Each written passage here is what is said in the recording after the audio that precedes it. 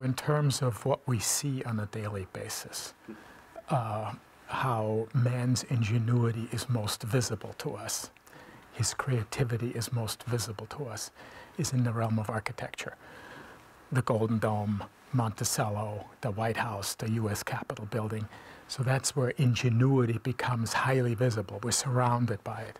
Mathematics, on the other hand, is this discipline that is considered to be abstruse, difficult, impenetrable.